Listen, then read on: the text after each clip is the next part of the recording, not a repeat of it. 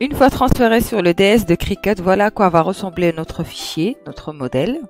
Donc nous aurons deux groupes distincts. Le groupe qui va devoir subir le rainage et le groupe qui est avec la perforation. Nous allons mettre celui-là de côté et je vous montrerai plus tard ce qu'on va pouvoir en faire.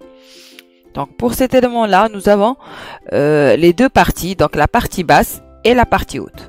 Il va falloir donc appliquer euh, le rainage sur les éléments euh, qui apparaissent ici en noir. En regardant de plus près, vous voyez ici qu'il y a plusieurs couches. Donc, effectivement, euh, comme on a fait les, groupes au niveau de au niveau de Linkscape, on a un groupe qui concerne le rainage du haut. On a la boîte du haut ou le couvercle. Par, par la suite, nous avons ici le rainage du bas et la boîte du bas. Donc là, c'est très simple. Il suffit juste de sélectionner le groupe concerné par le rainage de venir à opération et d'appliquer le score, le rainage. Et là, vous avez automatiquement, on a le score et au niveau des couches, c'est devenu score au lieu de découpe de base. Même chose pour la partie basse. On sélectionne le groupe. Vous voyez vraiment là que juste les éléments qui doivent subir le rainage ont été sélectionnés. En plus, ils apparaissent en noir. Donc, alors que quand vous sélectionnez la base, vous voyez que c'est en rose. Même opération alors. Score. Et voilà.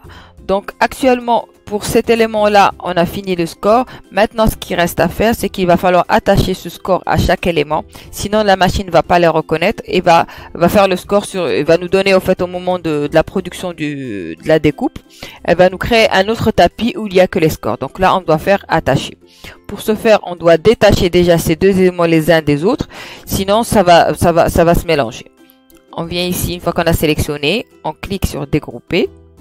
Ensuite, on sélectionne chaque élément à part et on attache. Ensuite, on attache. Voilà, donc ce dossier-là ou ce fichier-là, ce modèle-là par exemple, il est prêt à être découpé. Il suffit juste de l'envoyer sur le DS. Donc je vais euh, masquer celui-là pour que vous puissiez voir à quoi ça va ressembler sur euh, les tapis.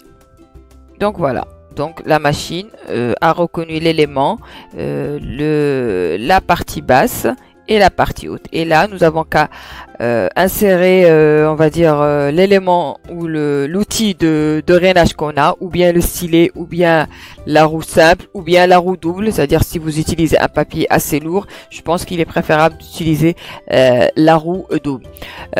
par contre, moi, des fois, quand je n'ai pas, je n'ai pas la roue de rainage actuellement, je viens juste la prendre, je l'ai pas encore essayé. Euh, je n'utilise que le stylet de rainage. Avec ce stylet-là, ce que je fais, c'est que je lance la création. Donc, la création euh, du modèle commence toujours par le rainage. Donc, je lance l'opération. La machine fait le rainage. Ensuite, elle fait la découpe.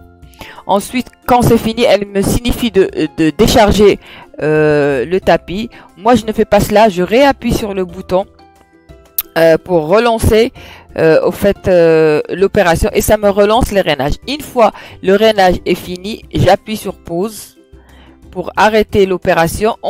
Après, j'éjecte, euh, j'éjecte le tapis euh, de la machine et là, j'ai pu faire le rainage deux fois euh, pour avoir, on va dire, une meilleure tenue quand j'ai un, un, papier un peu plus lourd que d'habitude. Donc, un peu plus lourd, c'est voire au-delà des 200 grammes, 250 grammes. Donc, à partir de là, ça devient un peu compliqué, mais au-delà de 250, je n'ai jamais essayé, mais donc dans cette limite-là, j'arrive à faire le score. Euh, je fais le score deux fois, au fait.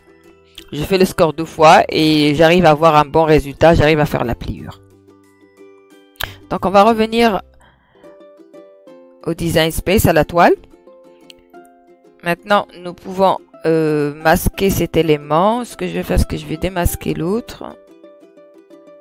Ce que je vais faire, c'est que je vais grouper les deux, au fait. Comme ça, j'ai pas les perdre, je vais les garder. Donc je vais grouper. Ensuite, je vais les cacher et je vais les envoyer en arrière. Là, vous voyez euh, les nouveaux éléments qui sont apparus euh, au niveau du design space. Donc, c'est juste hier, j'ai vu que j'ai eu la mise à jour 7.12. Euh, je crois 156. Donc maintenant, il y a les shortcuts, les, les raccourcis du clavier sur le, le, site de Cricut. Vous pouvez les télécharger et les avoir à côté. je pense au fur et à mesure, vous apprendrez à les utiliser. Donc, on envoie en arrière ce modèle-là, histoire qu'il nous embête plus. On va plus l'utiliser. Et là, je désélectionne et j'ai mon autre modèle.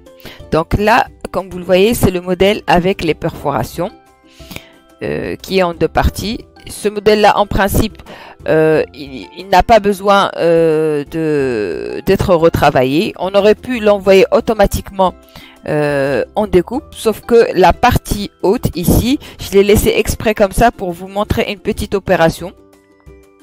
Donc là, au fait, c'est des petits éléments. Donc je vais dégrouper pour qu'on puisse voir mieux que ça. Là, on peut faire dès, maintenant attacher. Voilà, on a attaché les petites perforations. On va mettre ça en bas. Celui-là, je ne vais pas trop le bouger pour ne pas euh, perdre les éléments parce que celui-là, quand vous allez sélectionner comme ça, vous allez voir que là, il y a les traits de perforation et en bas, il y a les petits éléments. C'est que nous, on n'a pas groupé, on n'a pas soudé, on a gardé ça comme ça et ça fait plusieurs petits éléments. Donc il faut vraiment éviter de le bouger une fois que vous avez dégroupé parce que sinon les, on va dire ça va devenir des petits morceaux et ça va être compliqué de les rassembler. Maintenant, nous allons appliquer un motif et changer la couleur euh, de ces boîtes-là pour avoir une, une meilleure harmonie. Tout d'abord, donc si vous le voyez bien, quand on clique déjà, il nous signale euh, la présence des perforations. Pour qu'elles ne nous embêtent plus, on va les cacher comme ça. Voilà. Et là, à chaque fois que vous cliquez, vous allez constater que bien sûr, nous avons un ensemble de rectangles. Ce n'est pas un élément complet. Pour ma part, je souhaite appliquer euh, un motif à ces deux éléments. Donc ça va être celui-là. J'appuie sur Shift et celui-là. Je vais venir ici les convertir en print and cut et je vais appliquer mon motif que j'aurai recherché dans ma bibliothèque des motifs. Je descends celui-là. Voilà, c'est fait. Ensuite, je vais modifier certains éléments. Donc, euh, celui-là, je vais mettre dans un ton un peu plus clair. J'appuie sur avancer. Et là, ici, je peux toujours... Voilà, modifier. C'est bon. Celui-là aussi, je vais le mettre dans cette couleur-là. Euh, ensuite, euh, là, je vais mettre de l'orange. Voilà. Donc là, là, là et là, je vais mettre du rose. Donc maintenant, ce qui reste, c'est très simple. Les autres éléments, je peux aller asynchroniser. Je sais ce qui reste en bleu, je vais le mettre en orange. Je tire et voilà, c'est hyper simple. Et aussi ce qui reste dans le le rose un peu plus sombre. Et là, c'est bon, j'ai pu faire ma petite modification. Maintenant, je vais sélectionner la totalité pour tout mettre en print and cut. Voilà, imprimer, découper. Là, c'est bon, c'est en imprimé, découpé. Et je peux venir ouvrir le petit œil pour avoir euh, mes perforations. Donc, vu comme ça, on se dit, ok, c'est bon, on a fini, c'est parfait. Euh, malheureusement, ce n'est pas le cas. Si vous le voyez bien, c'est un ensemble de petits carrés. Si vous lancez l'impression comme ça, vous aurez plusieurs petits pardon, rectangles. Ce sera que des rectangles qui vont être découpés séparément. Et ce n'est pas l'objectif. Ce qu'il faut faire, c'est déjà créer un fond qui va être aplati et on va aplatir cet élément dessus. Donc, on va créer une forme. On va créer un carré. Et on va le redimensionner dans les mêmes dimensions que notre élément on sélectionne l'élément. On prend en note les dimensions de cet élément, 23, 329, 700, 356. Donc pour modifier les dimensions, on ouvre le petit cadenas et on applique les nouvelles dimensions. On appuie sur tabulation pour aller de l'autre côté, 7.356 et hop. Maintenant, nous avons un rectangle qui est des mêmes dimensions que celui-là. Euh, aussi, ce qu'il faut faire, c'est le positionner vraiment pile poil dessus. On peut le faire comme ça, mais on n'est pas vraiment sûr d'être bon. Vraiment, vraiment, de ne pas dépasser ou quoi que ce soit. Moi, ce que je fais, c'est que j'identifie la localisation de cet élément sur la toile. C'est comme les positions GPS en fait. Donc c'est comme si on va aller chercher les positions GPS de cet élément sur la toile. On vient ici, on met plus. Donc là, c'est sa localisation 5.7 et 4.12. Et cette localisation, on va l'appliquer à ce rectangle blanc. Il faut le faire doucement. 5. Je sais pas pourquoi ça me fait. Je sais pas si à vous aussi ça vous fait ça. À chaque fois que je vais le faire, ça disparaît et après je dois juste reprendre. Très étrange. Donc je fais tabulation 4.12 et je fais entrer. Là, je suis sûr à 1000% que mon rectangle est bien au bon endroit. Donc là, je vais devoir le reculer en tant que couche. Donc je vais l'envoyer au fait en arrière. Donc je l'ai envoyé en arrière et c'est bon. Là, je vais couvrir le petit œil pour ne plus avoir les perforations en vue. Maintenant, je sélectionne la totalité et je fais aplatir. Là maintenant, je suis sûr que les Design Space a compris et que je veux qu'il m'imprime ce rectangle-là tant que tel et non pas des petits rectangles. Ensuite, je peux venir décocher ça et le mettre en avant. Et voilà, j'ai fini mon travail.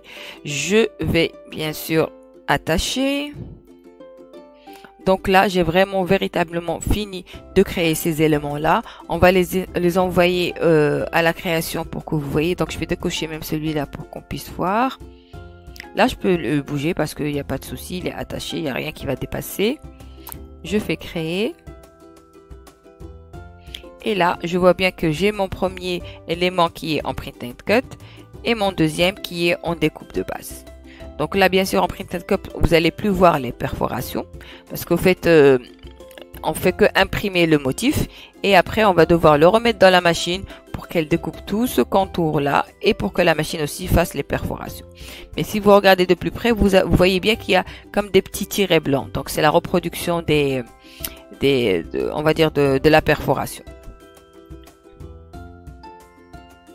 Et on peut retourner. Et là vous pouvez enregistrer l'élément. Je vais changer la couleur de celui-là voilà, comme ça, c'est plus uniforme. Donc, je vous invite euh, après à m'envoyer les photos de votre euh, travail. Ça sera très sympa de pouvoir voir ce que chacune a pu inventer et a pu créer. Malheureusement, notre tutoriel touche à sa fin.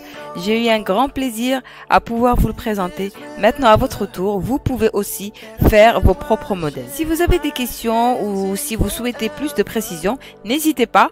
Euh, laissez-moi des commentaires. Je me ferai un plaisir d'y répondre. Vous pouvez aussi me contacter via mes réseaux sociaux. Euh, les détails sont mentionnés euh, plus bas dans le descriptif euh, de la vidéo. Je vous ai également mis dans le lien, donc dans le descriptif avec le descriptif, je vous ai mis le lien vers Pinterest si vous voulez télécharger l'image du modèle sur lequel on vient de travailler. Pardon.